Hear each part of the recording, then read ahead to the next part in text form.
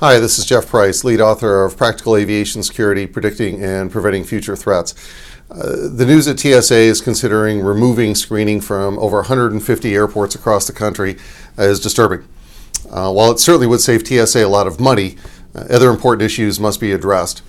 Uh, a small aircraft would not make a very good weapon of mass destruction, uh, yet it can still be commandeered and can be an effective small weapon used against a smaller ground target. But the real concern here is not some sort of 9 11 style coordinated attack of small aircraft.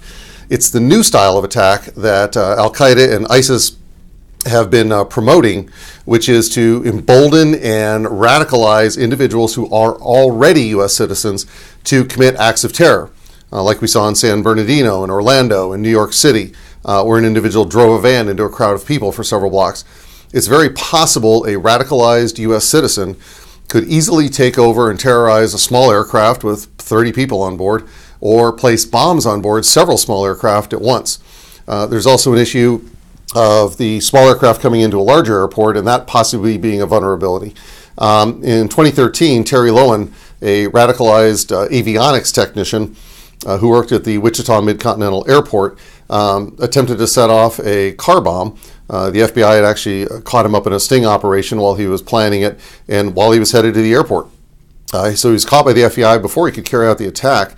But Wichita is an excellent example that criminals and terrorists are not just interested in big cities.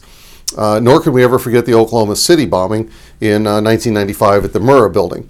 Uh, so small communities are, are not exempt from uh, these types of attacks. look, TSA might save some money from an operational perspective, but someone's going to pay for this, and uh, someone's going to pay for this change, and it's going to be the passenger. It's going to be you. The burden of the cost uh, will now fall on the larger airport operators who have to reconfigure and possibly build or rebuild terminal facilities uh, in concourses so that reverse screening checkpoints can be installed. While reverse screening was a common practice prior to 9 11, um, airport improvements over the past 17 years were based on the premise that the process was, was a thing of the past.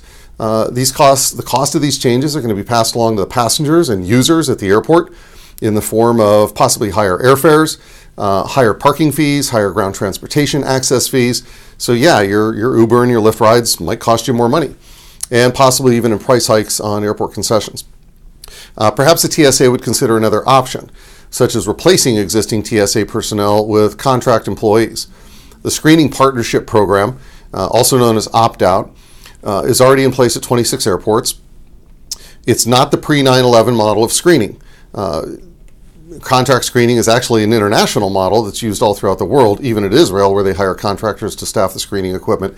Um, the post 9 11 model is where screening companies are certified by TSA, contracted by TSA, and overseen by TSA, not the uh, airlines as they were prior to 9 11.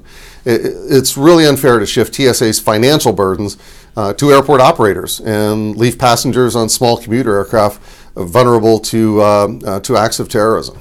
So hopefully TSA reconsiders this one.